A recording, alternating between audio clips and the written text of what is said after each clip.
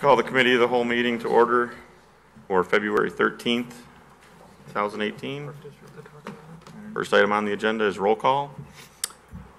Osado? Here. Atak? Here. Stark? Salvati? Here. Callahan? Here. Lay? Here. Meitzler? Here. Ewer? Here. Saron? Here, McFadden? Here. Chanzit? Here. O'Brien? Brown? Wolf? Here. Okay, we have the necessary necessary quorum to conduct business. Um, Next on the agenda is the approval of minutes for January 23rd, 2018. Anybody have any corrections, additions, changes, anything? Would you like to make a motion? so moved. Motion by Salvati, second. Second. Meitzler? All those in favor? Aye. Opposed? Okay. Go on consent. Um, Items to be added, removed, or changed. Uh, We're going to change, let's see, what is it? 13 and 14, we're going to move up to 5 and 6. We'll Put them in at the end of matters from the public. What would those be, four A and four B, or? Yeah, we should, yeah, we should probably not change the whole number, just change, just add 4A and B. Note that there matters from the public. Well, it's gonna be in between four Yeah. and five, right? That's what, 4.1. 4.5. That's easier. How about Roman numerals? Five A, 4.1, 4.2. Let's have a discussion. Okay, so then we will um, change those two items, the order. Um, Somebody like to make a motion on that? So, second. Motion by Chanzit, second by Saron. All in favor? Aye. Opposed? Okay, motion carries. Um, So that will take us to matters from the public. Does anybody have anything from the public that's not on the agenda? Okay, go ahead.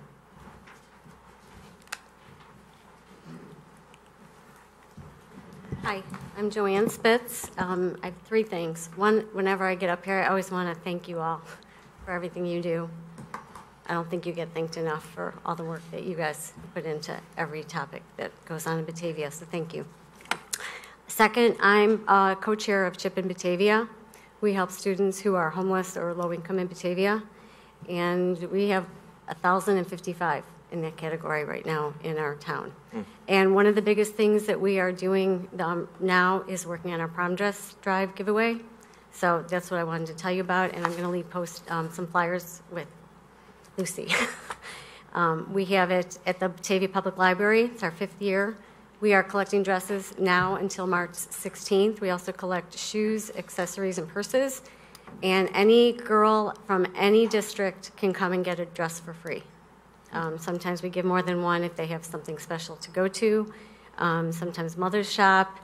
And if they can give a donation, if they want to, we accept it and use it for uh, tuxes for the boys, or for, we pay for prom tickets for kids who can't afford it. So uh, last year, we gave out over 165 dresses. That included donating to the clothes closet and eighth, uh, to Rotolo for the eighth grade dinner dance. So um, it's gotten bigger. We have 200 in storage already from last year, and the library has been very gracious in um, taking donations, and then they store them for us. Prairie State Packaging is donating wardrobe boxes so they stay clean. We have a seamstress there to help girls for free um, get their dresses fitted. It's, it's a really fun day. Um, I, it's really great. So I just wanted to tell you all about that. And I'm also on the Bulldogs Unleashed Committee, and I wanted to thank the city for your tremendous support with that project. We have 29 bulldogs that will be on the streets in June for the summer. Uh, 14 were purchased outright. The rest will go to auction on September 15th at the Eastside Community Center. So it's been a lot of fun. We look forward to meeting with the city tomorrow. and thank you. Thank you.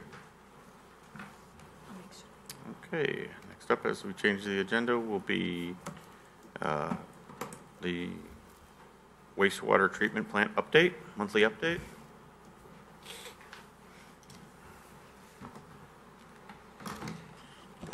Thank you.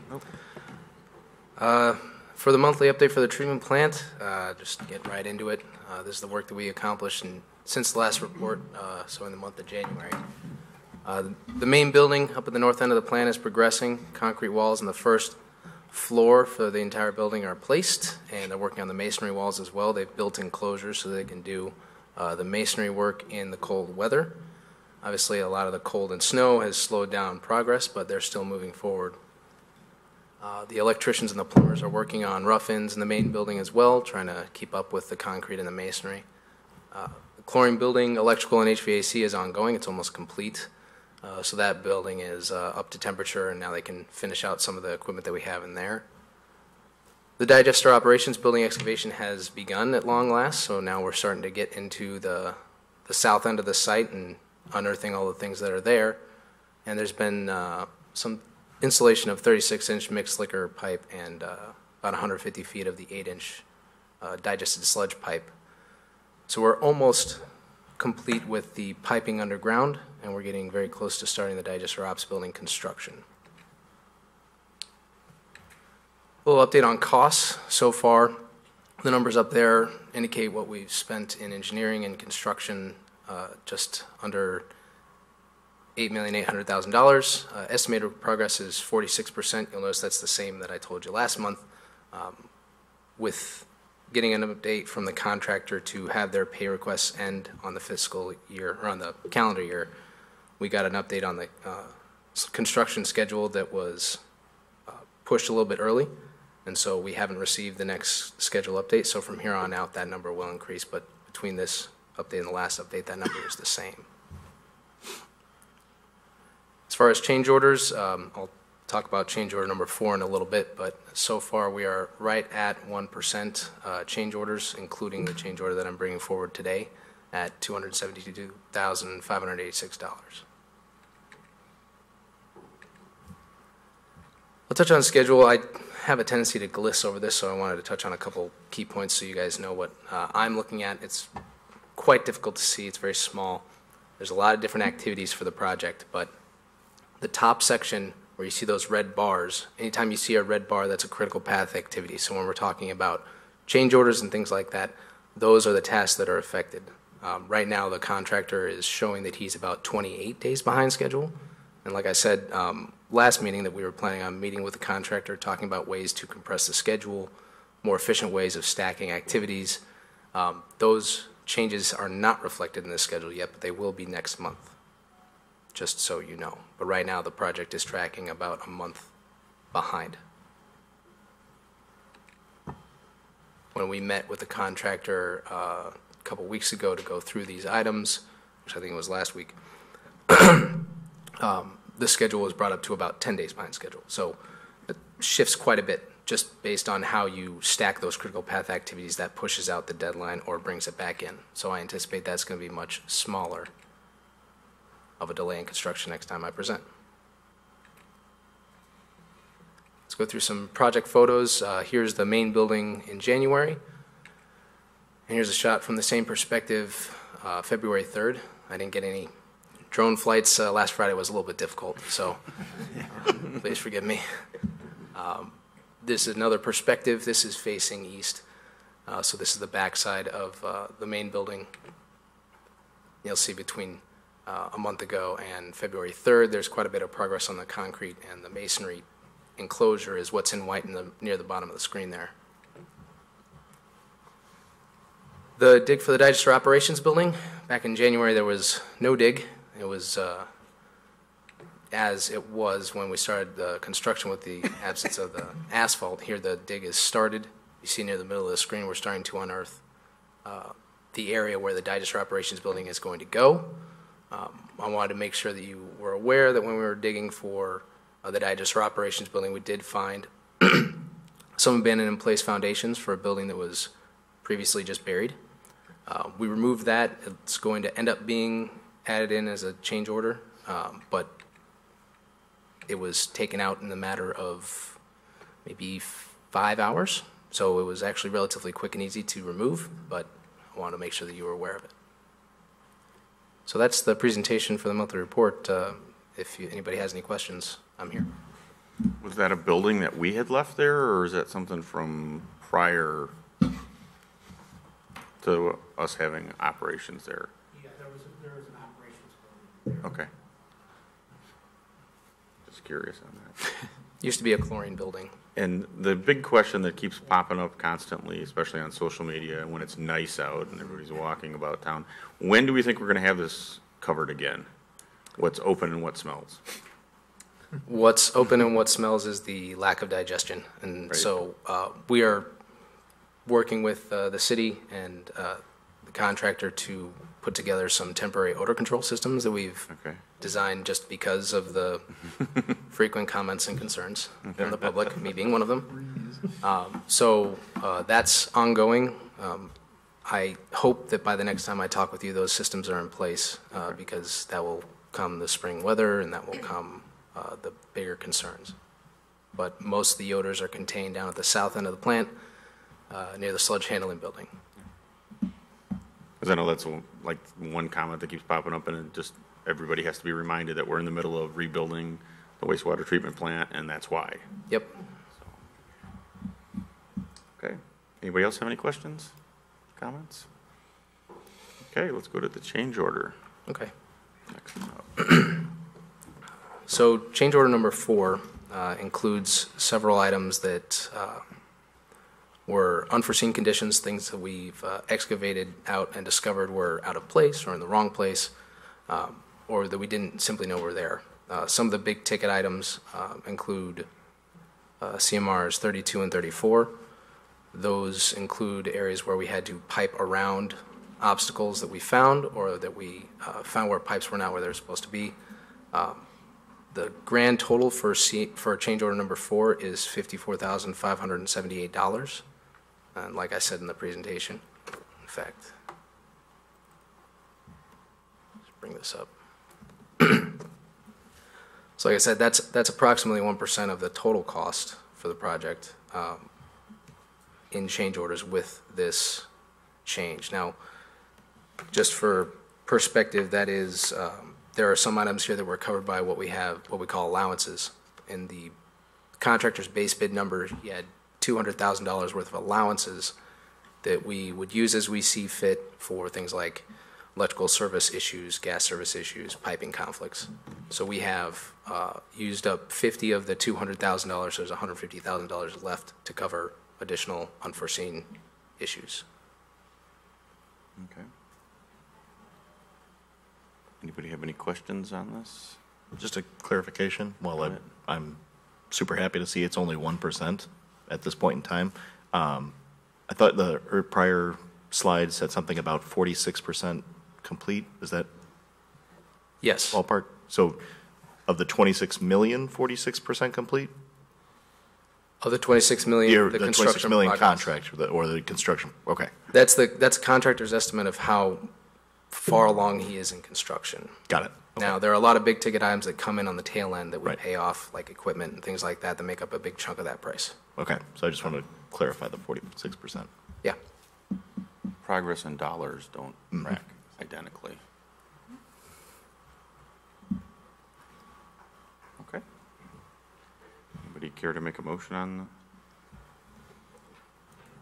change order number four, which is resolution eighteen twenty-seven R, authorizing a change order with number four with Williams Brothers Construction Incorporated for the wastewater treatment plant rehabilitation project. So moved. Second. Motion by Ewer, second by Salvati. All those in favor? Aye. Opposed? Okay, motion carries. And put that on consent. No, let's leave it on regular agenda so we can talk about it and let people know that there is somewhat of a solution coming up for some of the snow before the spring. Okay, Thank you for your time. thank you. Okay. Next up, we'll go back to the regular ordered uh, agenda, and that will get us to number five, which is ordinance 18-13, vacation of a public alley behind three twenty-one to three thirty-seven East Wilson. Scott? Yes, this uh, came out of the Park District and the um, improvements that they're proposing to the East Side Community Center. Um, We have an- actually a public alley that is along, that is east-west along the south end of their parking lot, uh, behind the homes and businesses along uh, East Wilson Street. Park District is part of their reconfiguration. They've been maintaining this alley for years. We're not actually plowing it or anything like that.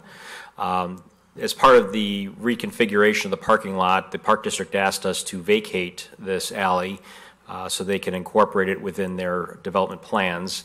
Uh, It would be, continue to be used as part of their driveway and parking areas. Um, The Park District has agreed as part of this to allow for the continued access uh, to the adjacent properties along Wilson Street. Uh, They do, the three different property owners uh, do uh, get access to their garages and the back parts of their lots through this alley. Um, So we would retain an ingress, egress, and public utility easement over the alley after it's vacated. Um, The only exception is at this, at the far western end, um, and it's a little hard to see. Let's see if I can zoom in a little bit. So the property owner uh, at the far western end of, of this um, has two garages actually that encroach into the alley already. I'm not sure how that happened, whether it was just a surveying error or a permitting error or what have you. Um, They've been there for quite some time, so um, it's, it's been an existing encroachment. They encroach uh, almost eight feet into that alley. Um, So as part of that, um, during our discussions with the Park District, uh, the Park District was agreeable to allowing eight feet of that alley to be vacated to that property owner so that they can have their uh, garages be legal. Um, I believe they have some plans to reconstruct those buildings and reconfigure them. Um, So that would allow them to do that since they are in a, uh, um, in a downtown mixed-use district, so they would be able to do that. The setbacks are, are zero for that kind of an encroachment. So um, we do have a utility line actually that goes across one of those garages. Um, So if there were any modifications, that would have to be either relocated or buried or, or what have you. So, um, so as part of that, that's, that- that's uh, part of the vacation, why it would be a little bit different than uh, we normally would uh, do that. So, um, let me just get back to the plat for a second here. So this shows basically how the area would be vacated. So you'd have the eight feet that would be vacated to the property owner on the far western end of the alley, and everything that else then would be vacated to the Park District. Nick? Uh, yeah, the, the property owner actually is here. He's a resident in my ward. Um, he is asking for an extra five feet extension so he can reconfigure those garages and, um, alter, the doors face the uh, alleyway. He wants to turn them inside. Um, so it would actually, there's one benefit in that you won't, wouldn't have to, you know, enter the garages from the alleyway, but it would also gain four parking spots that he's utilizing on Wilson right now. I, uh, he, he's here if, any you know, willing to talk about it, but I'm thinking that if we, um, vacate the alley, that we amend it to include another five feet, that we could at least investigate what the options are before, uh, turning it over to the parking lot, or the parking, park district. And, and I did talk to the Park District about that issue, um, and I, I had asked them, the uh, property owner also to talk to the Park District directly about it as well. Um, Park District is concerned because they feel that an additional five feet is going to cause a, um, a geometric issue with the parking lot, uh, because they're already using that area for their driveway. So if we give them another five feet, now they're gonna have to reconfigure their own parking lot and maybe lose parking spaces on the east side center, as well as there's some drainage issues that would be involved in that too. So that's, that's the concern of the Park District. Right, and it's valid, and when you go and, and see, there's an, a cement apron already coming out that is there that isn't gonna change. He's probably, he's optimally looking to build maybe two feet and keeping a couple of feet to put a fence that will close, uh, horizontally across the property. It's, uh, I mean, I'm not here to say, I mean, we would have to go through the, the variance process and see if it's possible, but if we turn it over to the park district, we're saying no to somebody who wants to put, a you know, do some economic development, supply four extra parking lots for us right across from Rosati's, right down from one Washington Place. I think we should at least investigate that before we turn it over to the parking, uh, the park district. Yeah, I, I agree with that. I, I went by and looked at it myself, and it, it does make a lot of sense, uh, cause as, if it's just done as proposed here, the doors for the garage will still face that alley and still pose a problem, which the, the property owner has a problem with accessing those garage as it is, because the, uh, there's, uh, oftentimes, uh, trucks parked there for loading and unloading the East Side Center.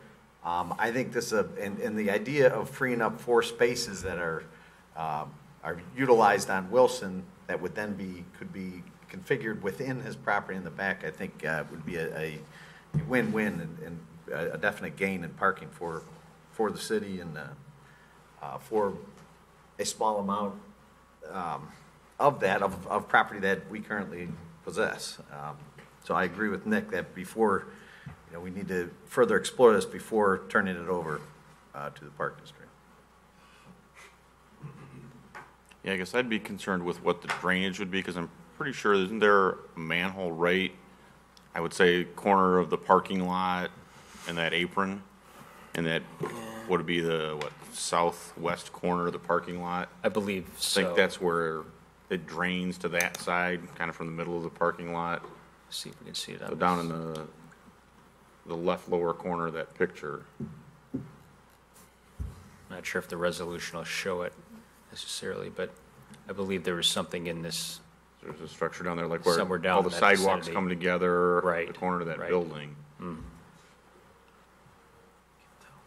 fortunately, the resolution doesn't show it very well here, so. I guess I don't have a problem with trying to reconfigure that to gain some more parking if they're gonna use that internally on their own property versus the street. I guess I just, that's, I think tight in that corner anyway to try to turn through the way the parking lot is laid out now. Mm-hmm. I wouldn't wanna see us take away parking from what's there now to create a different parking situation here. You're shifting the parking from the park district onto private property. There's parking, there is parking on street in front. Um, and I'm not sure that they would be able to put the parking spaces that they'd like to without getting some type of a variance either, because there may be some setbacks and green space requirements um, for those parking spaces in, in our ordinance. So I, I haven't looked into that, but that, that is a possibility that they'd have to go into too. So just because they might be able to fit four spaces doesn't mean that they can under the ordinance right now, so. And I would think too, with the, with the park district opening up parking behind there, I don't think that that's gonna be used hundred percent of the time. Right. You know, I mean, there'd be quite a bit of parking, I think, that they're gonna add to it, correct? Mm-hmm. How many spaces is the park district gonna add to the, the property? Um, It was quite a few. I mean, this, this. It's two lots that they're, where the houses are coming down. Correct, right. So you can kind of see it here. This, this is one of the configurations. There, there's a couple of different configurations that have been going on. So all, so a lot of this along the north end and then the east end is all new parking. I'm not sure though, but I don't think they foresee that being public parking. I mean, it is, it is now. Right. I'm just saying, Do we, do you you have? know, the there's other- business owners not Right. allowed to park there currently. Marty? I would agree with everything that Tony and Nick said, just because if the park district knows that it's a parking problem and they're trying to solve a parking problem in the area, this is allowing a little bit more comprehensive parking to be uh, looked at at once, all together, instead of trying to piecemeal it. Let's do it all together with the whole thing. Yeah.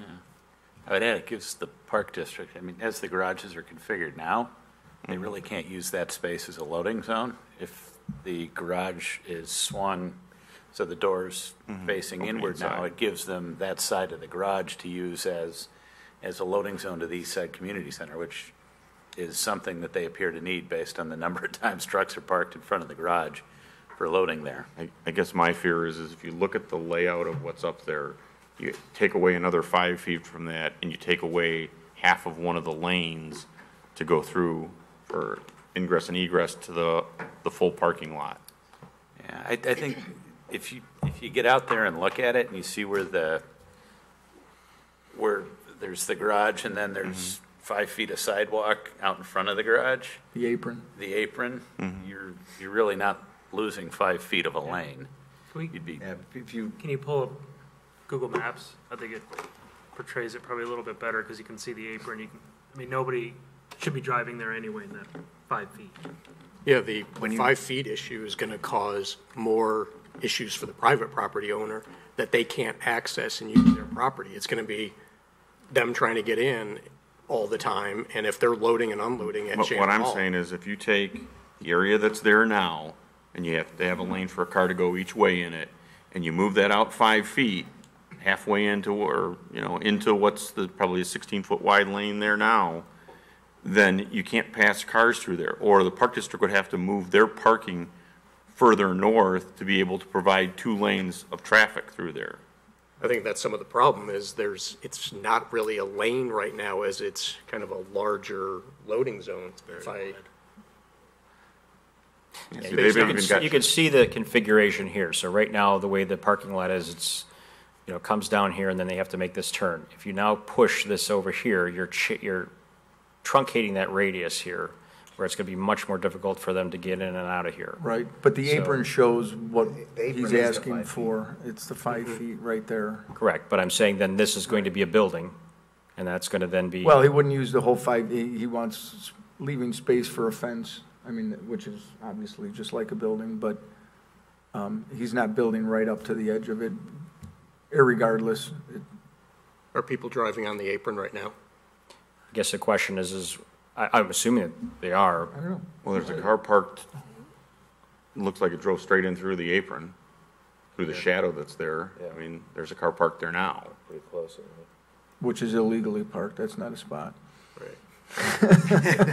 Well, and, and if you look at the situation here, the, the property owner also has adequate room in the front to make modifications too. So, I mean, it's not necessary for some expansion of that property to use the public alley encroachment. I mean, they can make some configuration changes and use some more of the front yard. That is a possibility as well.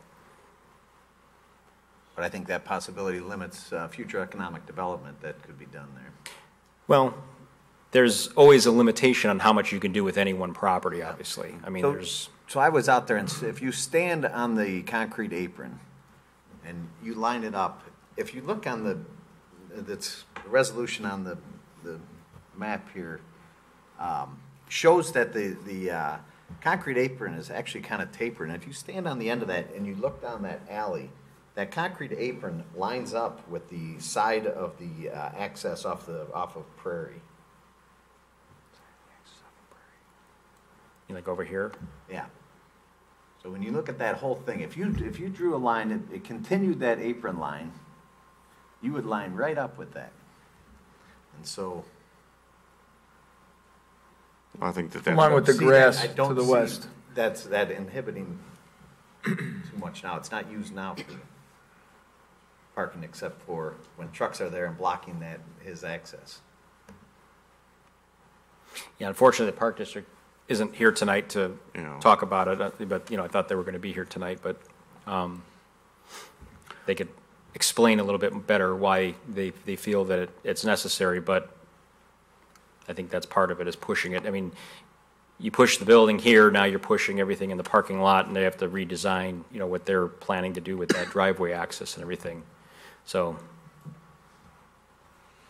Right, and, and maybe it can't, I'm not saying, but if, if we vacate it, we're shutting down potential economic development. If we keep it open or, or amend it to include thirteen feet instead of the eight feet, we at least can investigate this further with maybe the park district being a little more open, knowing that they don't necessarily own it. Um, and if it can't work, it can't work, but if, if we can work to make this a win-win situation, I, I don't see why we wouldn't go down that path. You know what, uh, the property owner's here, do, do you want to address anybody, any of these concerns that were brought up? I can kind of share my vision of what the Sure, that'd be great. future will look like. Give your name for the record. Because I'd like to understand what, you know, if you're gonna go from whatever garage space is there now, how five feet's gonna make a big difference in that, because you're not gonna get them any further apart, so you're still gonna have to access them from the garage doors facing each other. So pulling in and out of there is Well, the gonna be feet- just as easy, no matter how deep the building is. The building. theory is that five feet gives them enough feet to pull in four cars tandem. Okay. So Darren Anger, um, so as Nick stated, that extra five feet rounds us out to 36 feet in length. If we were to tear that fence down and then create four parking spaces, they would be tandem, and that would take, and we would have six spots on the back of our property versus the two we have now. So you're saying actually having a pull-in parking space at the end of the garage? Correct. There, you wouldn't, I'm not including parking inside the garages. Okay, just- so just this, this is Actually on the actual external parking, so the garage would not go all the way to the property line?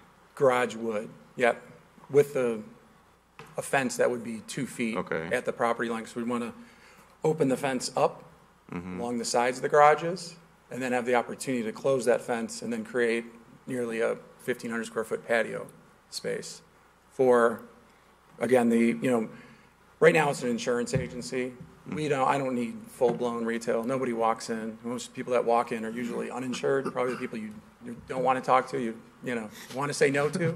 Um, And so I feel like the property is underutilized and would like to make it a place of destination. And so, um, quick thought is, you know, coffee house, um, fine meats and cheeses, you know, talk to, you know, citizens, myself, just what our needs are, when we go to all these other towns for, for these types of items. Um, tap room, talk to Energy City Brewing, actively selling Batavia residents, something that they're very interested in. And then, um, Spice House Gindos, they're another um, Batavia resident actively selling and, uh, again, have, have interest in possibly coming in and, and using the space. And so we're, we're thinking of being able to use the space more throughout the day versus just saying, okay, it's a coffee house, it's open from seven to two, right? So we can be open from seven to two for a coffee house, but then, you know, we can do, you know, tap room three nights a week if they want to, whatever, four nights a week from, you know, four to nine, four to 10. We're not talking, I want a bar, no one wants to work in a full-blown restaurant, you know, just that type of offering. And so the five feet is, that, that's the, the big part, is taking the cars off the street and putting them on our patio so that if it becomes a place of destination, that access is easy to get into it. You have Rosati's directly across the street from us now. They're taking on twice the space. Mm-hmm. And now they're offering sit-down beer, wine, so now that's a place of destination versus people pulling in and running out, or probably more than anything, ordering just, you know, delivery. So more cars to uh, go on the street there. Um, The other part with, you know, with the garage, so the vision, right, the, with the garages are dilapidated. They're probably 70 years old. They're, they're beyond repair. We are going to do the roofs last year, and we just looked at it, and just wasn't worth it. We were like, you know, these, they, they need to come down, and, and then where my, one of my big struggles is on the west side, is, is accessing that garage, having the uh, vendors um, or trades going to Shannon Hall and just parking in front of the garage, or they actually park literally in front of our patio space, and they're just, they're all over it. And so that, was my thought was like, okay, as a compensating factor, why don't I tear it, when we tear it down, why don't we rebuild it and have access on the property, assuming that, you know, either you're gonna be maybe brewing beer or, you know, doing this spice thing, or who, who knows, you know, uh, at that point. But uh, just, just like they're trying to do is, you know, maximize my opportunity, just, just as they are, the Park District. And, um, then take them and see the two, you can see the two white squares. Those are two of the several additions since 1885, flat roofs. They leak, they're a challenge. I'd like to, if there was an opportunity to attach the garages to the home and then, or structure, and then, you know, your standard pitch gable roof, get water to run off, not sit and evaporate or penetrate into the, into our property. And, um, I know, I can, there's a lot of different visions as far as, you know, then we're gonna take that, the fence that's there now and move it to the side, the east side, a little bit more towards the front of the house. Um, the two houses in back of Parkinson's kind of just finished the same project and putting their, they don't, they back up to a parking lot, right? So they created a patio space, um, kind of on the side, front yard of their property, exactly what we're looking to do, something like that. and then reconfig, or redoing the garage on the east side, the thought was, you know, even to pull out the roof line and then attaching it, you know, or running it into that uh, flat roof to eliminate flat roofs hundred percent, but that would likely be as an overhang. And then, so you'd have some, you know, space from shade elements, what have you, so you'd have your choice if, you know, you wanted to see sun, shade, what have you, depending, uh, what event or retailer is performing their craft, if you will, at that point. And then the other piece was if uh, the River Street project, if, you know, that takes off, uh, 200 units, I, I believe, um, to, a lot easier to get to the east side, for me, about a block and a half, uh, versus getting to the other side of Batavia. Not that we want to neglect it by, by any means, but uh, just to accommodate and make it more attractive for those people that are coming into there.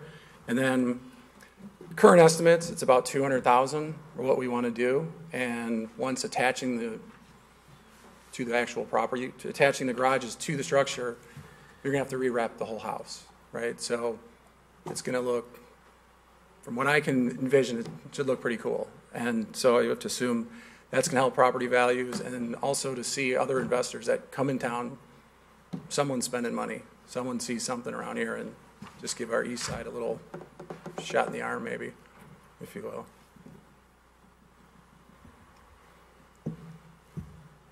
And I, I sat with uh, Allison and Jim Eby on Thursday, or Tuesday this past week, and sharing what I want. And I have one of their latest uh, renderings. It's more green space, but I'll bring, pass it around. You guys wanted to see it? From what was, was up there last, I think to ju, to manage the drainage concerns, right? That, um, by the west garage and down where that car is, shouldn't be parked, right? I mean, that, that dipped down, that dips down so far. I don't know how they're gonna correct that, if they're, how they're, what they're adding to, I, I don't know, that's not my world, it's, you know, insurance. Um, so, far from an expert in that, but it's, it's, it's pretty severe, so how they combat it, I could see by needing to add the green space, that, I'm sure that, that helps resolve that problem. And meeting with uh, the park district, the only thing that I could get was, there, the five feet was, they just said, well, then we have to redo our plans. We had to redo our plans, and there was an- any definitive answer to say, this is exactly why. And I think that's rendering number three or four that, that I've seen, so I think they've already been done I once. I think it would all have to do with turning radiuses in and out of Sure. their parking spaces Yep. there and how they have access to that parking lot or how they're gonna configure that parking lot. Yeah, I measured from the 36 feet out is from, there's about three foot of bed on the back of the property within the patio space, now measuring out 36 feet. You can go out 20 feet, and I'm, I believe from what I read and Chris Asen has shared with me is that the 20 feet is, is what's needed. From where the edge is on the east side there, you, 20 feet exists today if they were to give that additional five feet. These are my very basic tools. I'm not, you know, by any means. So again, not my world, but it's just my vision, my plan, and what I could see. The way I see it, the ordinance in front of us is vacating the alley. Mm-hmm. If we, let's say amend it to thirteen feet, we're not giving away the property, we still have, have it, and we can investigate it and go down that path. If it doesn't work, we can always do it. Obviously, they'll make their changes, but why, this is the exact business owner we want and we want to support and, and, and give an opportunity to invest in our city. Why would we shut that off right at the beginning without at least giving them an opportunity to investigate and see what we can do to make it happen? Don't challenge me, Scott. I'm not challenging you. I- I, um, The problem is, we have to vacate, when we vacate an alley the way we're doing it, we have to specifically say in the ordinance who is getting what. Because otherwise, you can't just have an ordinance that vacates it, because then that creates a split that, you know, isn't what we're trying to achieve here. So um, you would have to actually spa- specifically define in the legal description what part of the alley is going to whom. So, and then we also have to change the plat as well. So those two things have to change before we, if we're, if we're going to change the dimension, we have to change both of those things. So right now on the plat, who owns that eight feet? We do, city. That's, that's, city. it's all, it's all public right-of-way. Uh, where am I? So in this ordinance, when we vacate the alley and are, we are, are we giving Darren that eight feet? Correct. He's getting eight feet of the alley. It's a 32-foot wide alley, which is very wide for an alley. And then he's getting this eight feet here right now. That's, that's where the, the garage encroachment goes not quite up to that eight-foot line. So, and then the Right. Park District would be getting the remainder of this So at the end of that, they'd get 24. with this, with the way we've platted it here, right? And typically, uh, an alley driveway would be 10 feet, 11 feet. They're 10 feet, 16 feet is a very common number for Okay, alleys. So Yeah, you can get two lanes through it. correct, right.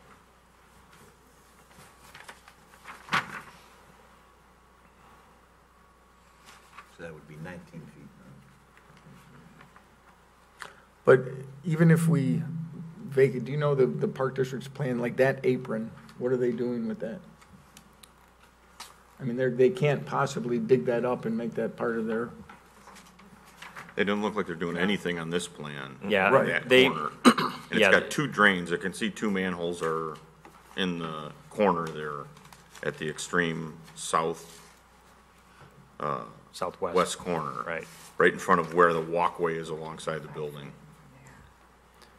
Yeah, and this is, this is obviously not the most current plan, but their, their plan is to put islands in and to reconfigure this driveway area in here too. So, I mean, they're, they're proposing to modify this. So the, the driveway requirement for alley, for driveways is to be 24 to 25 feet wide depending on the parking spaces. So 20 feet is, is really a one-way alley, one-way aisle, I should say. So that's my problem is if we do that, then we change their ability to use the property that they, that we'd be giving to the park district. well, the only, the only areas right where your hand is there, mm-hmm. that to the corner of his property, that width. So So this an is 20, so this adjustment, is 24 feet based on the survey. And if you go back to the picture, it makes, to me, makes it much more evident of what we're talking about, is if you take that other five feet away, the end space that's there in the middle of that aisle is a east-west, or no, a north-south, um, aisle parking. And then there's diagonal parking along the far west side up against the building. That's where I think the issues come in, is you won't be able to make those turns in and out of there if there's parking in those end spaces. Because that alleyway will get narrow. You won't be able to go each way. I mean, I think they try to make it one way now. Right. This, Through this there? one here, yeah, this, this kind of circulation here, one way. right. But if you move that out another five feet and you get a car up at the end of that, well, we're just going up to the apron. Keep in right, mind, if with you the look eight at that. feet, that's what's in the ordinance. Right. so Right, that- but if you look at that visually, we're just extending it that, to that end of that cement. Yeah, that, that's. We're not going five The feet onto additional the. five feet is included in the cement apron, is that what you're saying? Yes, the, the cement apron is the five feet, basically. I thought it was eight feet. No, the No, eight feet is the eight garage. feet- The garage already encroaches almost eight feet into the alley. Okay. So And it's then- just and that, and then- just that apron. The apron. So it'd be the cement apron, which is slab. another five feet or so, would be the additional Include the encroachment. cement slab. So You're that, so this, that- so this dimension here, I think you said is 20 feet? If you go back to the other plan, it shows what it is. I would assume it yeah, 24. would be the same. So I went off the uh, west part of the east garage, and then I ran my tape along from the back of the house and out. I actually have a picture of it. Um, And then ran a second tape measure across, that was 20 feet, and have a picture of it going down. And it, it doesn't, it's close, but it, it doesn't get to the grassy area to the, to your right under the. So the outer edge of that concrete is Yeah, so the that, eight so, feet plus five feet. Yeah, that's 13 feet. yeah, so 13 would be to the edge here, so they, they would they would come across, encroaching into this asphalt area somewhat, and then back down. So then that's gonna, for so then from that point, where the, val- where the, wherever it's, wherever we vacate it, you'd be looking to have a minimum of a 24 to 25 foot aisle, plus whatever, you know, mm-hmm. turning radius you're gonna have to have to go around the parking lot itself. Can you go to the other plan that you had that actually had the, This one? I think it's that one, or was it just one other space that showed the actual distances at the corner?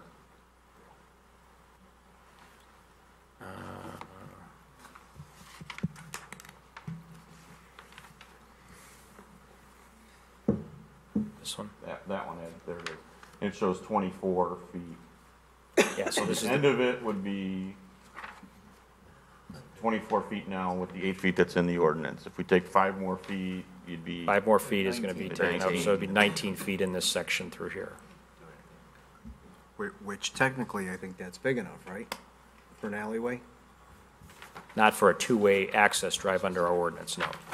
How far is the Park District? They have those islands encroaching into the alleyway now, too. That's proposed, that's not existing. And, and the proposed stuff, and then you Oh, basically right. dogleg that coming in at the end there. So all these heavy, all these heavy lines here is what's, what was proposed under one of their parking lot versions. So you can kind of see, unfortunately, this is not a very good scan, but um, you can kind of see where their parking improvements are here right now. So, I mean, if you go back to that concrete thing, that can't be part of the alleyway. Nobody's gonna be driving over that concrete area anyway. We're anyway. driving over it now, so. Well, they're doing it to park illegally, so we can go in circles for that.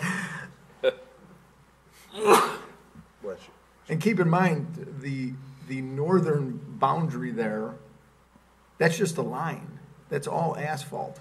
I mean, mm. that can be, they can, they can make it a, a fifty-foot alley if they want to redraw the plans. There's, there's no building, I mean, that's all asphalt. Right, but I don't want to speak for the park district and say that we're gonna make up their mind of how they want to reconfigure their parking lot. I understand that, but I don't want the park district speaking for us and what we Right. want to do in an economic development. That's why I'm saying, mm-hmm.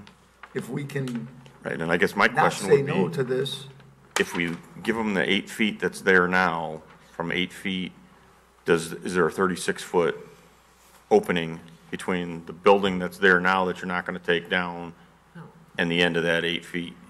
If you go all the way through where the garage is, it looks like there's a space between the flat roof building and the garage now. Can you fit a thirty-six foot building in there? If you're looking for four parking spaces in it?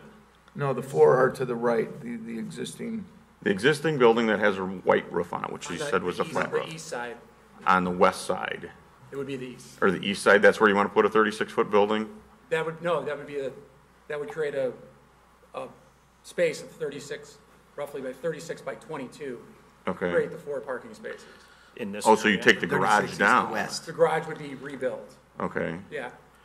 Yeah, those, those spaces would not be legal spaces under our ordinance. We don't, you know, tandem spaces are not legal. You could have two, depending on how the oh. width is, it may have two or three, so. Correct me if I'm wrong here.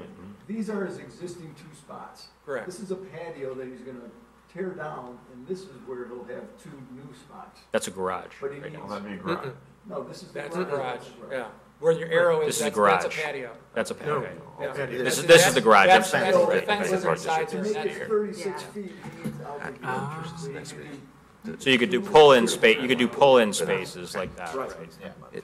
Hey, Can I, can I make a, a point of order? I mean, is it, since the Park District is not here, we really can't make a decision without their input. I- Unless, is this on a critical timeline for this to be, for, for the next council meeting? Not for the next council meeting necessarily, but I mean, they, they are planning on doing this parking lot this summer. Now, they Okay. still have to get some other zoning approval from us Sure. for some of that. So can, can we make sure they're here for, for our next, our next Yeah. cow meeting? And, and, and push this to, to, to next Tuesday so we can get their input and then, and get this thing resolved? I mean, I, we So can't, we There's no can't, meeting next Tuesday, just so you know, that was canceled for the Brotherhood dinner. That's correct. But we could have a committee of the whole meeting on Wednesday, the 21st, if you wanted. No, it's plan commission. That's Plan commission. Yeah. We, I mean, we can go to the next two weeks. Okay. Yeah, I mean, that, that's. And I guess my question or my direction to staff would be, can we make sure, can you look at what you would approve for the park district for the turning radiuses on the parking lot and where you can put the islands with both the eight feet that it's proposed with now and with the thirteen feet with the other five feet added to it? Yeah, we'd have to look at, see what the current, current plan is and, Okay. and how they're gonna configure that. Um, and then how that would affect if they had to push an additional Right. five feet further, how that's gonna affect how the that would change, because it and looks everything. like the way the parking lot is set up now, they route stuff in from going west in the alleyway has to go to the right, and what comes east in the parking lot has to go around to the, Basically, the I think left that- to I come think back that's- into those. Yeah, it's more or less one way heading Parking south spaces. this way and then Right. up that way, right. And where the car is, that's illegally parked, that, that grass line and the apron where I want to Mhm. extend to, they're Even. equal. Yeah, there's, it's not, it's not going to be some jagged, Mhm. you know, thing, It- or it would be if that was the case, right? Right. My concern on this is if you look, I mean, if you look at the whole picture and all the opportunity that is there for the park district, that five feet is, is a minuscule part that can be rather important to the east side of, of our downtown and economic development. Mm-hmm. So I don't want to, you know, give all the weight, oh, the park district walks in here and goes, oh, no, we want that five feet. Well, let's make it win-win. If, if we, if, if they're open to working something through, I think that's a great plan. I, I, I think to your point, it, for the small amount of spaces they want versus the four spaces that would open up on Wilson, I think it makes a lot of sense. I do think we just need to have the park district here so we can walk this through, you know, because I, I think it makes a lot of sense. We just, we just need to get all parties involved here. Well, exactly what Nick is saying. We have, if we just look at it as two property owners that are vying for access to their properties, it shouldn't matter whether or not it's the park district or another party. We've got two people that want the same access to something, and we're giving up control. I would like to give up control to what Nick's saying, the best win-win scenario, which has larger benefits than to just one side solely because they're another public entity. In Um, addition to that, they have been maintaining it, so I think that that is something important to consider as well. And they will continue to do so after it's vacated too. I mean, they're going to maintain I it as think, part of their parking lot. You know, it still has to be, better, but it has to be public domain because it has to be able to publicly allow access to those three properties there, not just this one that wants to do something with it, but the other two that are there that eventually or may want to do something with it, we just don't know about that yet. Because they still have to have access to their garages that are there, mm-hmm. their property. Right, and he needs access to his garages right now. Right. That he's willing to give up, so. Mm-hmm. And there already is an issue with his access, getting access to it mm, as, Right. as currently.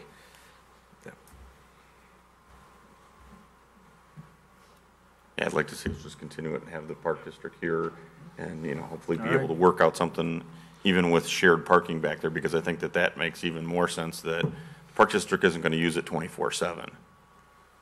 That property, and that's a lot of parking within a block, block and a half of downtown. Yeah. Well, I make a motion, we table this for two weeks. Second. Good with that. All those in favor? Aye. Opposed? Okay, that carries. Thank you. And we'll make sure that you know what date we're gonna be back here with. Okay. Okay? Thanks. Darren, Did you want this? Your- uh, Oh, yeah. Your plan?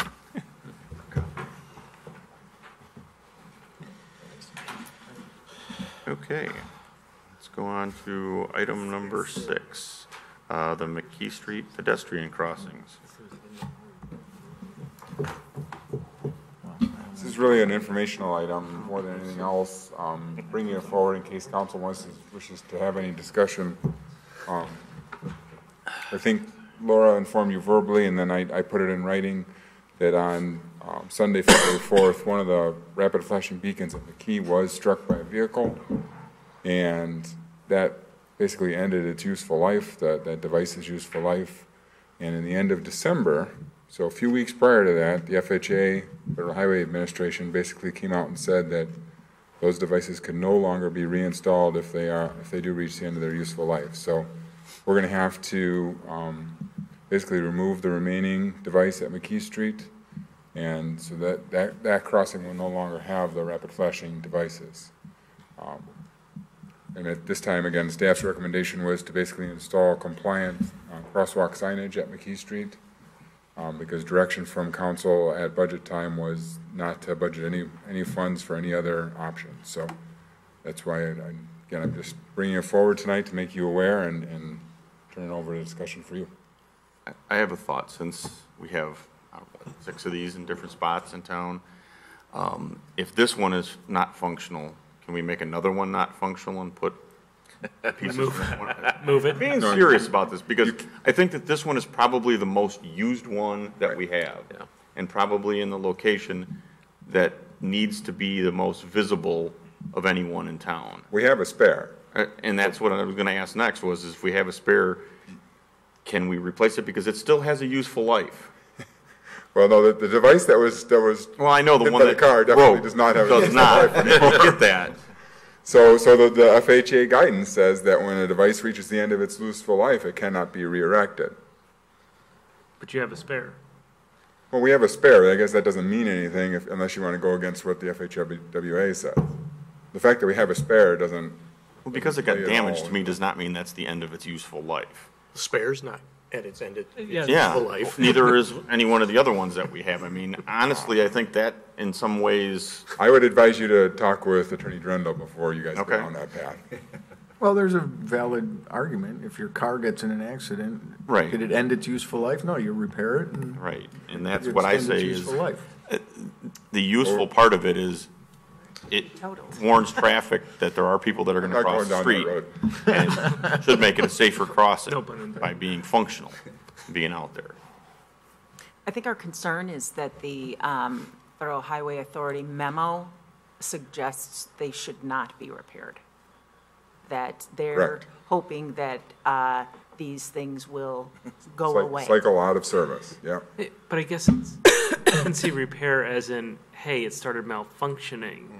This is not a So if the light instance burns where out- it just stopped working. No, it was destroyed. I mean, it was. I get it, Right. but is, I don't believe that was their intent. Maybe it is because they don't like them. Yeah, but I don't exactly. I believe think that is their That's their intent. intent, they Exactly don't right. want them. Right, I think they're worried about liability, that they're gonna get sued, and because they approved them and they okayed it, they're gonna be on the hook for it. That's my thought.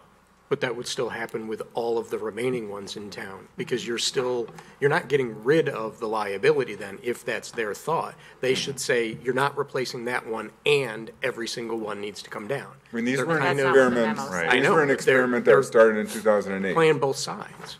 And these were an experiment that was started in 2008. Actually, it was, they were started several years prior to that, but the FHWA finally said in 2008 that other municipalities can experiment with them. They started down in Florida. and They were, they were fairly prevalent in a couple of communities down there. So the FHWA said, yep, let's experiment with them. We'll give you official approval to experiment with them.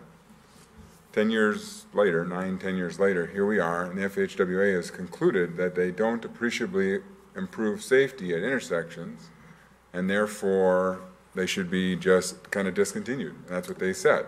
We're not going to allow any new installations, and as the old installations sit out there, they'll still be permitted to sit out there. You don't have to take them out.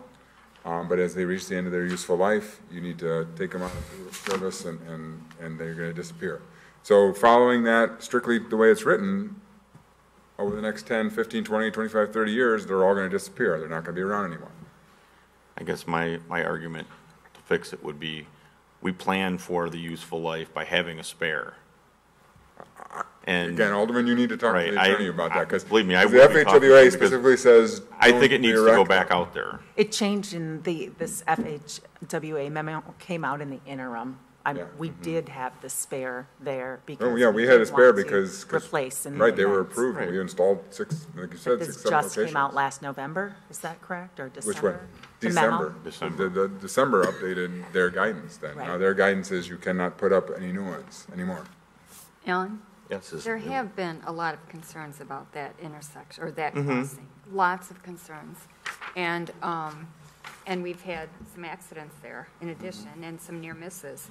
And I know that at one point you said, let's get a, some sort of crossing at Houston, Mm-hmm. even though it wasn't approved. I don't understand, if we're gonna put a standard crosswalk there, why don't we go back to Houston, which is what our consultant had recommended, Right. which leads us right downtown, and which is what people use. The answer from IDOT was they don't allow standard crosswalks across a four-lane highway, which is a lie because they do in Geneva across 38 No, I- for No, the, seven. the, That the- the wasn't- issue at Houston Street was the rapid flashing beacon being too close. to- No, they wouldn't even let us stripe it for a crosswalk. I, was that? Across the- I 31, they will thought not they let us would. stripe it. They I don't stood, recall that, Alan. I mean, That's what we were told, and that, I'll find, I've got an email from it where that's what's stated, is they don't allow in, what is it, Area One? well, then why would they one- allow it District at one? McKee? Because it's further away from the stoplight at Wilson. No, I think that had to do with the rapid flashing beacons. Right, but the Yeah. crosswalk thing was, is if they were gonna allow the rapid flashing beacon at McKee Street, they were not gonna allow us to stripe across a four-lane highway a block away from that, which I told them is BS, because Geneva has it all the way out thirty-eight, and that's six or seven lanes if you wanna count parking and turn lanes. Yeah, I, I don't know that, I, we can look into the striping side, but I don't remember the striping side being an issue. It's the beacon, I believe, that was the issue in proximity to Now, they, the traffic. because that was one of the options I wanted to have, was to have just a simple crosswalk stripe setup at Houston Street. Mm-hmm. Because we've got the big sidewalk, we've got I don't the think connection to the we bike path, consensus everything is right there, and they, we were told that, that we couldn't do that. I, I, I can't remember, I don't know if this, if Google will show. I um, think it was a consensus issue as the group here.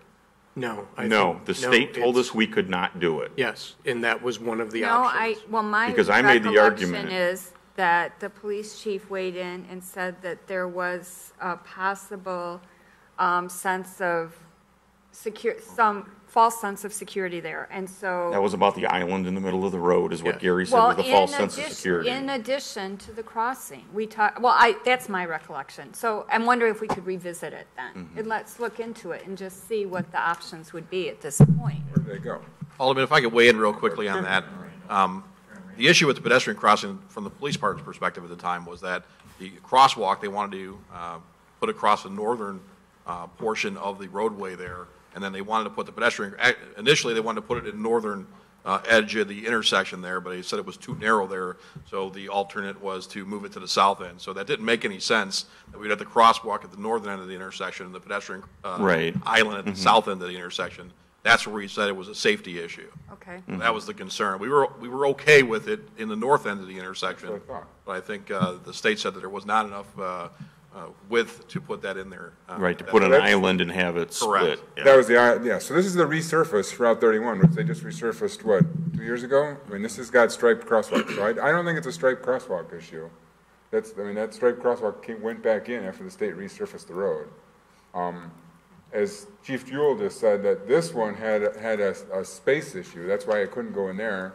We ended up on the south side of Houston Street because that allowed for the six-foot, roughly six-foot wide median, center median. Right, That was That would have taken out the turn lane there as well. Right. right, well, and then they did the Well, turn the lane turn lane without. was tell- never there. Yeah, the- they Yeah. did the turn lane without telling us. Right. The turn lane was never there. The turn lane was a straight median like this. So, um, going back to what Alderman Wolf just said, um, you know, getting a striped crosswalk at Wilson Street, I don't think necessarily will be an IDOT issue. Because again, they just have one south of there on First Street. Um, It was the rapid flashing beacon that was the issue, and that's why they moved, moved it one block further north up to McKee Street. That is my recollection as well, Gary. Yeah. I just remember that that was what was told to us, that IDOT said we could not stripe it as a normal crosswalk. And I said, well, one, we've got them in town here because Yeah, I, had I the don't one think at that's First right. Street. I mean, I don't think that that's right. I think, again, as And you said, there's one. my argument was is that Geneva has them across 38, and they said they wouldn't do it on a state highway. So, I'm sorry, to give you all headaches around the globe. Um, there's two separate issues there. There's, we can certainly pursue a standard crosswalk at Houston if that's what everyone wants. That's just an IDOT permit to see if they'll grant that.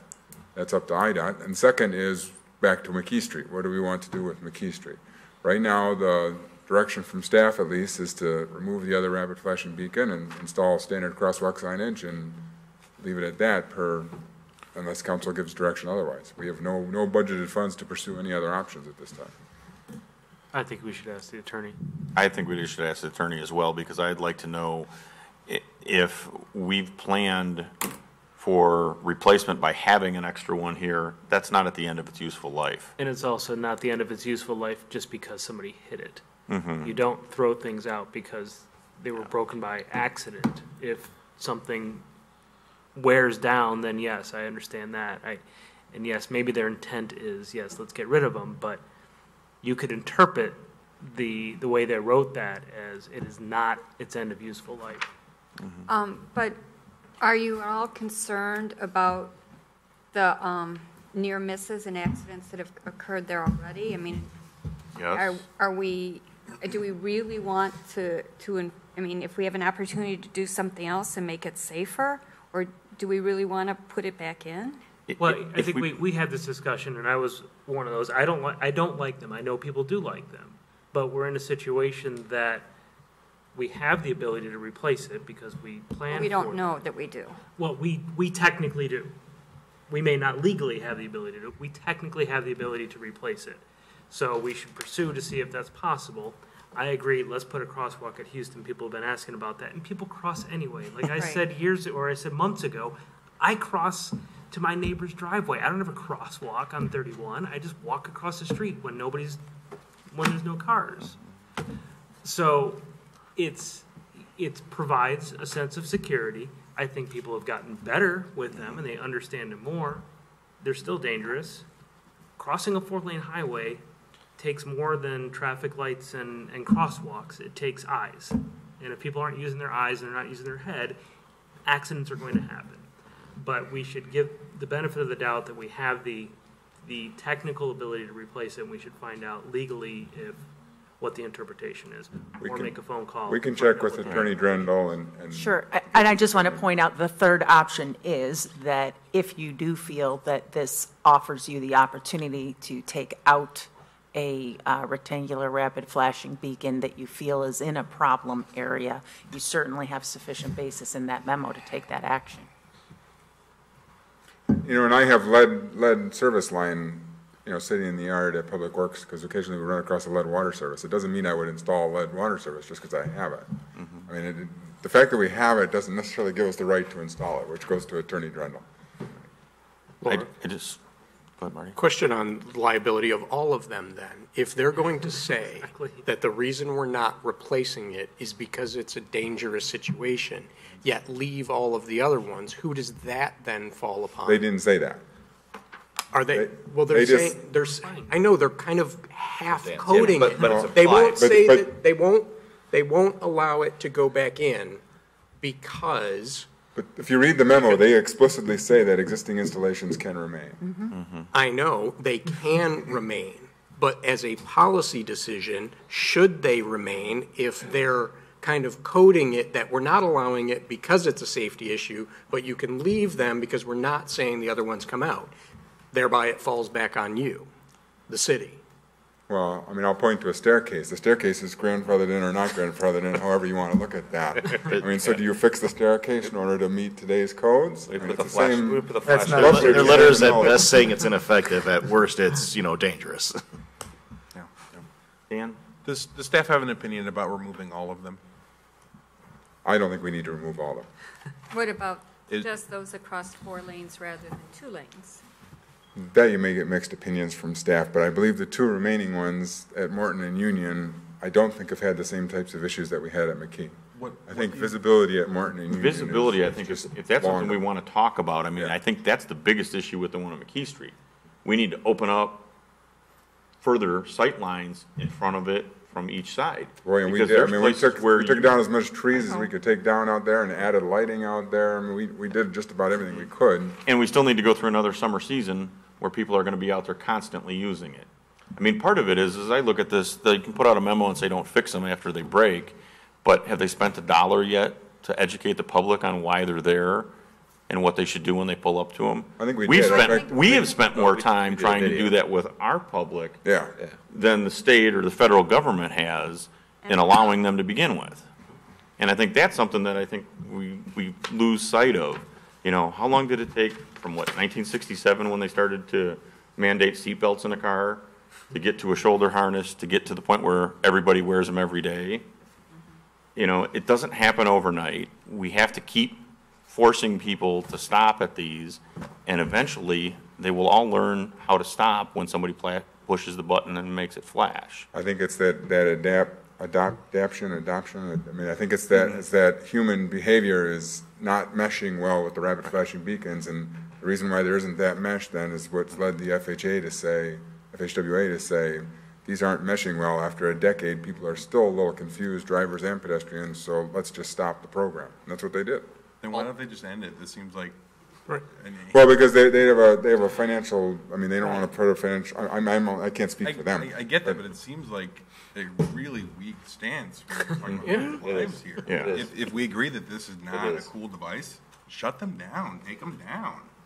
I think you guys all have that option. You can, you can decide at any time if you want to pull them all out. It's going, it's going, to Dan's point, it's going to the public perception that these things, there are issues and there's conflicting information about it. And now we're getting more information from the state that's saying they're, they're discontinuing it for safety reasons. And we're trying to promote the other ones that are still here, but those are safe. But are they? You know, it's just, it's a confusing mixed message that has surrounded all of these things from the beginning they've been put in. Yeah, this is advice that a smoker gives another smoker. Just finish your pack and then don't buy another one. No.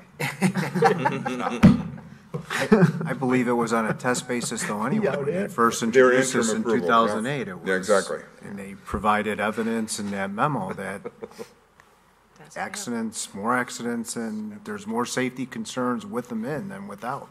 So the formal process would have been for them to issue a final formal memo approving them. In this case, they issued a final memo rescinding the interim approval. Right.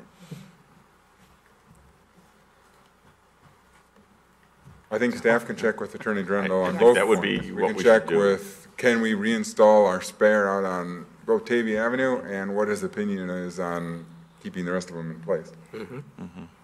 Our major concern with this is that because this thing has been knocked out, is this a, uh, is this a new installation? So it's not necessarily end of useful life, but are we are we, we're installing a new beacon up there.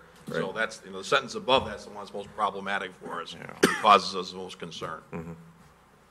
In, in addition to the sightlines at Route 31 and McKee Street, and I think all the four-lane pedestrian beacon crossings are more dangerous than the two lanes. I think the increased safety in the two lanes, no doubt. Yep. Potentially increase the, the, uh, uh, risk at the four lanes. But in addition to the, uh, the sightline issues there, you're also dealing with a major arterial that intersects with the state road, and that, I think. Higher increase- speed. Right, higher speed, more volume. Right. um, Just more turning actions and that sort of thing there. And, uh, you know, the three years we've had them installed, we've had three incidents that involve directly or uh, indirectly pedestrians at that intersection. And the three years before that, we had none. I think that speaks volumes. Well, in the same period of time, how many pedestrian-involved accidents that we have on 31? Because there was at least two at Wilson Street, and I believe there was one at Main Street, in, the- in that, uh, roughly that same time period, that I can think of. Right.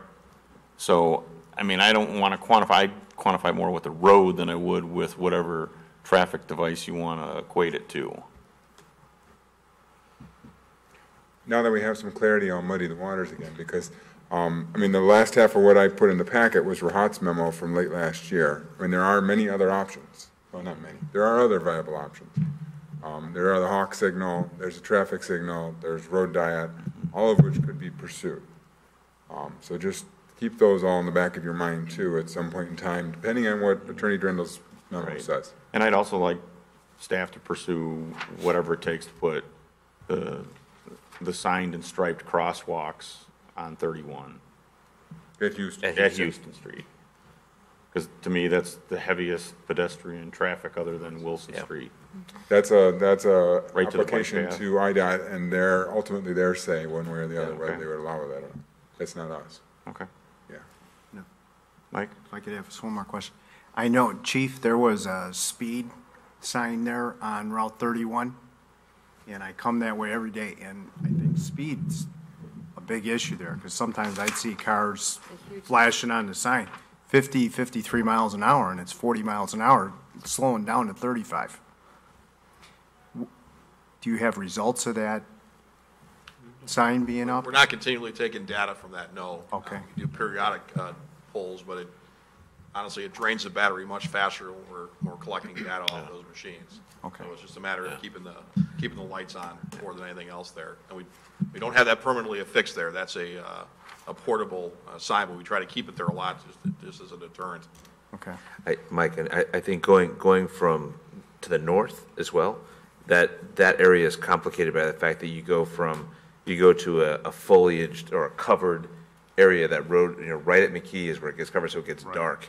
And so, I mean, the sight lines there are goofy as well. So, and people are accelerating out of a, out of an inter- intersection, and it's just, it's just, you know, perfect storm And right then there. there's, as you're going south, there's a hill, so you Yeah. don't really Mhm. see Yeah. the um, flashing light until you, I mean, with enough time to slow down. Yeah. It's been three or four years, maybe even a little longer than that, since the city council authorized the mayor to write a letter to IDOT asking IDOT to do a speed study or evaluation of the speed study out on 31, so. If that all bears, I'd be all for that. I'd also think that, you know, not just that, but the type of flashing lights that they have on Randall Road, you know, be prepared to stop that's two blocks or three blocks as you're approaching a hill before you get to a stoplight. Yeah, those are only permitted in those circumstances. You can't have them, you can't have them on a stop, well, you can see the stoplight from a thousand feet away. You're- You're not allowed to have that type of sign. Well, be on the other side of North Avenue or Maple Lane on 31 with those lights flashing. So we can pursue all those things. Um, right now, we'll seek direction from Attorney Drendel, and we can seek direction from IDOT on, on a standard crosswalk at Houston Street. Just to, just to clarify something I think you said earlier, um, just because one of them got knocked out, but the other one is still there, we're maybe in a better time for that to happen, given that it's the winter months and we're not dealing with a lot of pedestrians there, but, um, staff doesn't feel that that's going to be a problem if we get to spring, one of the signals is there, the other one is not. No, I, I, we're not in compliance right now. We need to take out that other one or bag it or do something with it to make it So we need to get this non-operational. resolved fairly quickly as well. Yeah, the, o- the only reason we haven't done it so far is for the last nine out of 11 days, we've been dealing with snow. Oh, so- oh, And, Yeah. Once, once the guys Hats break. off to the job that they Yeah, do. once the guys break free, we'll, we'll get that either bagged or, or turned off, something to make sure that that one's not operational. Okay. And my argument would be is half of it's still functional and still operational. We'll see what Attorney Drendel says. I'll go argue it. Get The wizard out there.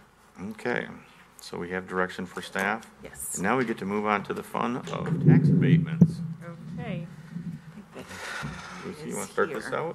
Yeah, okay, so, um, here we have four resolutions that are tax levy resolutions to abate the levy for bonds that the city chooses to pay from other sources other than real estate taxes.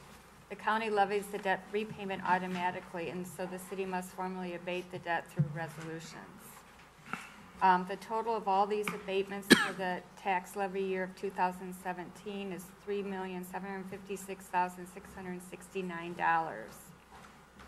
So this amount will be paid from the revenue sources listed here in each resolution rather than property tax bills. Are there any questions? I have one on the, the first one for the fire station refunding. How much longer do we have to pay on that? Twenty-five, okay. Peggy, do you have anything to add? No, okay. I have a question. I, I get why this is being done. Why these years? Why does it go back 2012 and why is 2014 missing? Probably the date of issue when they were Yeah, refunded. Right, those are the dates of the refunding, the year that it was done. Oh, okay. Thank you. Would someone like to make a motion to recommend to council the approval of resolution eighteen twenty-one R for, um, fire station refunding to be paid from sales tax? Second. Second. All in favor? Aye. Opposed? Chanzit, Motion was Chanzit, second was, you were, take it. you were the second. Um, would someone like to make, do you have that? Are you good? Mhm. Okay, would someone like to, um, make a recommendation to council the approval of resolution eighteen twenty-two R for the IEPA refunding, uh, source of the abatement, the water sewer revenue? So moved. Second. All in favor? Aye. Opposed? The ayes have it. Would someone like to make a motion to recommend to council the approval of resolution 18-23-R for, um, the payment of the electric refunding out of the electric revenue? So moved. Second. All in favor? Aye. Opposed? The ayes have it. Would someone like to make a motion to recommend to council the approval of Resolution 18-24-R for the repayment of the drainage capital, um, CH capital bonds out of the general fund? So moved. Second. All in favor? Aye. Opposed? The ayes have it. Um, You want those on consent? I think so. Yeah, we can put it on consent. Okay, next up is uh, Resolution 18-25-R, renewing contract for AID Victim Services. I have that. So we have been um, using the Association for Individual Development to provide victim and crisis intervention since 2017. And they've done a good job. Um, They come when the police and fire have contacted them, and they follow up with those um, in need for counseling. And it's recommended that we renew this contract uh, for the amount of 17,000 for 2018, with an option to extend for a second and third year. Are there any questions or comments? Uh, I'll just make a comment. I think this is probably one of the best uses of money that we spend each year um, to take whatever load we can off of our staff that we have in both fire and police departments. Um, I think it's something that I know personally that a lot of people have just praised the things that have come out of this, the contact that they have um, with this group, whoever shows up there, um, both from our departments, I've heard it internally, and from people that have actually availed of the services that have been provided. Um, It's really, I think, probably the best money we spend. Chief, do you have any comments? No, just I would add that they provided, uh, you know, invaluable service for our people, and they really, we really believe they keep down in our re- our repeat responses to uh, certain calls we get throughout the year. Definitely with the police department, I think the fire department would probably agree with that. Thank you. I, I just have a quick question. I, I, you noticed that the, the service hours jumped in a huge, you know, from 2016. Is that, do we know, is, is that attributable to any? I mean, we went from, it would, you know, 2015 was 456 hours, then 403 hours, then 595, which is, I mean, it is what it is, but I'm just wondering if there's, is that attributable to? Anything. I would, I, I don't know, but my, I guess my uh, educated speculation would be that they're doing more follow-up now, and we're dealing with more uh, subjects that have, you know, mental illness and that sort of thing, and requires repeat call-outs. Okay. Uh, I can think of one offhand right now where they've been out probably eight to 10 times for us, just with the one individual. I- I noticed a spike in, fa- and not just um, the hours, but in clients served. That implies that entire families are being Families, are right, being served. Right. correct, that's correct. Yeah, if you look at our, especially our police reports, and you see the amount of domestic Yeah. calls Oh, and yeah. other things we have to deal with, I think that, to me, points out why the hours are so high. Anything else? All right, would someone uh, like to make a recommendation to council the approval of Resolution 18-25-R authorizing the execution of a one-year renewable contract for victim and crisis intervention services with the Association for Individual Development? So moved. Second. All in favor? Aye. Who was that one? Meitzler and Malay. Eminem. Aziz. Uh, Anyone opposed? The ayes have it. Okay, um, next up would be Resolution 18-26-R, renewing a contract for Drendel and Jansen's uh, local prosecution. All right, uh, Drendel and Jansen uh, started providing the local prosecutor services um, in 2016 when um, our other law firm retired. Uh, They've done a good job, apparently a seamless job, I mean seamlessly transitioning in. They charge $2,400 a month, and staff, staff recommends that uh, we renew their contract. Um, They also, this contract would provide an option to extend for a second and third year. Are there any questions? Uh, Some of the things they do, I should add, um,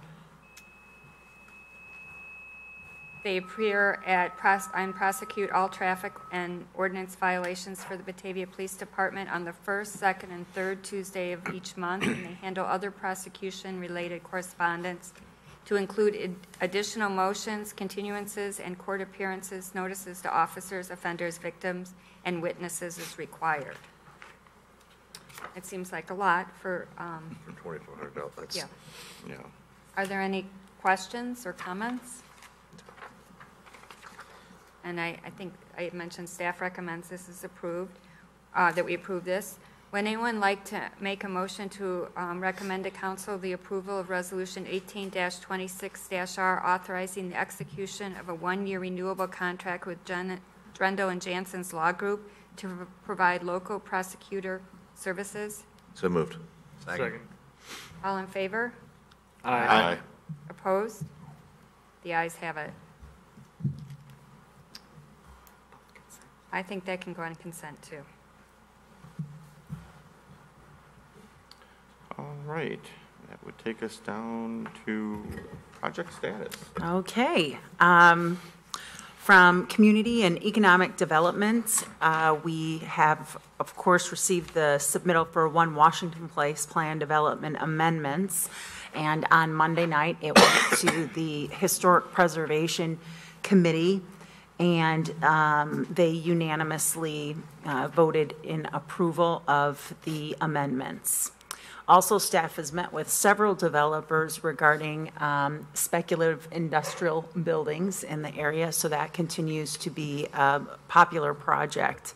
Um, Also, we conducted the development review meeting internally for the Windmill Landings and the Prairie Commons projects.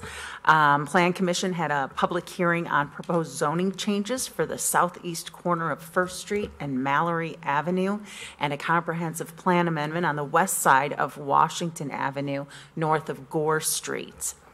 The Plan Commission will hear a proposed zoning map amendment for a property that's located near the southeast corner of Fabyan and Nagel Boulevard to change the zoning from general commercial to light industrial that is um, facilitating an expansion of an existing business. Also, two new leases were recently announced for Northeast Business Park buildings. Um, One at 1160 Pearson Drive, an 82,000 square foot facility, and also at 1250 Douglas Road, a 50,000 square foot facility, which, Scott, I believe that was just built last year, right? Yes, that's the new. Mhm, That's the new one. That's great. And then also on Friday, um, working collaborative- collaboratively with Kane County and the state of Illinois, as well as um, many departments internally, um, the city had completed and submitted its comprehensive response to the request for proposal from the indoor farming enterprise. Um, And hopefully, at the Batavia site is selected and the, the uh, project is built as planned, it would, uh, what they're looking at now is building on a vacant parcel. And so the, the project would represent a tremendous amount of, of increment also. Um, So the state's RFP transmittal indicates that there are several other sites um, that are under consideration, um, but we're very hopeful that we have distinguished ourselves, um, in particular, looking at the, um, the dedication to agriculture in Kane County, but also the um, dedication of organizations located close to us that are, um, provide food to those in need, and namely Northern Illinois Food Bank, which supports over 800 um, food organizations just in northern Illinois alone. Um, I think one of their most important programs is the uh, Backpacks program for the students in uh, Batavia Public Schools and other public schools. Um, One of the, the, the areas in, in hunger that is missing is when those children are not at school, they may still suffer from hunger. And so Northern Illinois Food Bank has a program where they drop off a backpack of food for children on Friday, and the kids bring those backpacks back empty on Monday to be uh, refilled by Northern Illinois Food Bank. So we made sure to highlight those things in our proposal to this organization because not only do they have a mission to be a profitable indoor farming business, they um, also uh, have a, a philosophical goal of um, this type of agriculture can feed the world. So um, we made sure to highlight those things in our in our presentation. Uh, Public Works, as the weekly report to you all said, it was all about the snow. Um, I had the opportunity this past Friday to ride in one of our snow plows, and I can tell you, my back hasn't recovered since. um, that is hard, hard work um, operating those snow plows. You are uh, bouncing all over on the inside of that truck with every, um, you know, bump in the road. Uh, and God forbid you hit one of those reflectors on 31. That'll let you know you're alive. The gentleman who I was uh, riding with while I took a 30 minute ride with him, this was his 16th hour of work with two 30 minute breaks in each of those eight hour shifts. And um, it, despite it, you would think that at that point he'd be complaining about uh, how tired he was, but I, he was glad to do the work. Um, our Batavia Street crews are so proud of the job that they do for this city. And um, I also had the opportunity to talk to several business owners um, during the snowstorm, after the snowstorm, and they were really impressed, Gary, with the fact that the crews went out to take the snow off the streets before the big snows hit. That we had the front end loaders out there with the dump trucks, filling them up with snow to make sure that there was space for that snow. And then today, I saw them out there again, and yesterday, moving the large piles of snow out of people's way so that they can again start using the public um, parking spaces. And it not only puts a strain on our, our uh, public works crews, but also on our first responders because um, people are out there, they're getting into, into accidents and they need help. And our first responders often have to spend extra time, call extra people in, and they're glad to do it too, to be there at the time when people need them. So a lot of thanks to everybody and um, all those city employees who came to work on Friday despite the fact that many schools were closed, many businesses were closed, but they made it here to work. So I want to thank them for that. Um, Water has worked with the city attorney to draft an agreement that will help the city to address fire hydrants on private properties that are in disrepair, and in engineering, final preparation for uh, Area 3 and Ward 1 uh, drainage projects. We're getting those all ready so that they're um, ready to be let for bid. On buildings and grounds, electrical is planning work at Public Works to isolate emergency circuits from day-to-day circuits, and in uh, administration for Public Works met with Team Technologies to discuss their electric growth and other opportunities for growth in Batavia. Had a good meeting out there. Um, in fact, Team Technologies is a, a growing business. They um, they are a plastic injection molding operation, so they are uh, using more and more electricity. In fact, uh, they've they've come to the point where they're about to cross the threshold into becoming a Gary. What's the designation? Large. Large general service. Large general service. So we had a nice conversation with them. Um, I also just wanted to touch base with you. Earlier today, I sent out an email that was both a summary of um, our discussion from the last committee, the whole meeting, about how we wanted to proceed with the strategic planning process, and um, to ask when you would like to have that next meeting, because I know the, we are not having a committee of the whole meeting next week. And I had suggested Wednesday, but that's the plan, plan commission meeting. Um, so would you like to have that next strategic plan discussion on the 27th? Or would you like to have a special meeting at which we just discuss the strategic plan? Um, we could, the 22nd, Thursdays are always difficult. It seems like there's a lot of events that get scheduled in Batavia because there's always Monday meetings and Tuesday meetings and so. Shall I put it on the 27th agenda, or would you like to move it to the first um, committee of the whole meeting in March?